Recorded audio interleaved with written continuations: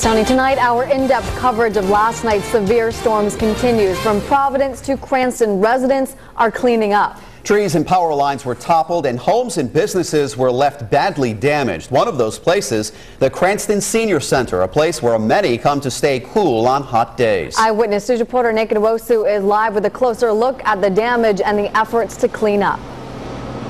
Blair and Mike, it's quite the scene here as crews try to chop down this tree that was uprooted. It was a similar scene at the Cranston Senior Center today where the interim director says she was expecting 300 to 400 people to be there today.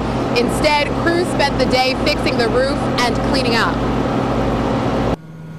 Thursday morning storms tore through Cranston, uprooting trees in some spots, including the senior center.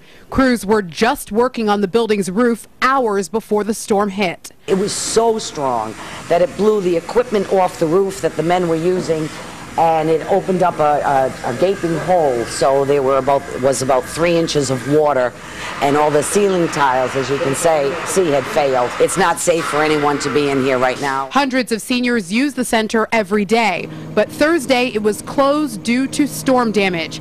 Just around the corner, the Gladstone Street School was also closed because of downed trees in nearby streets and on the school's parking lot.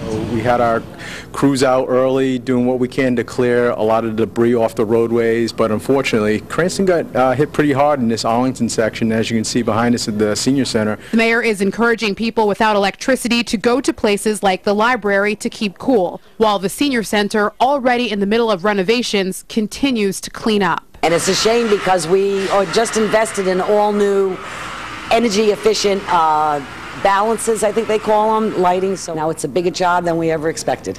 Now back live here where crews continue to remove branches of this tree from this home here in Providence. As for the Cranston Senior Center, the interim director says she won't know for sure until tomorrow morning whether or not the center will be open on Friday. Of course, we will keep you posted. Live at the mobile newsroom, I'm Naka Nwosu, Eyewitness News.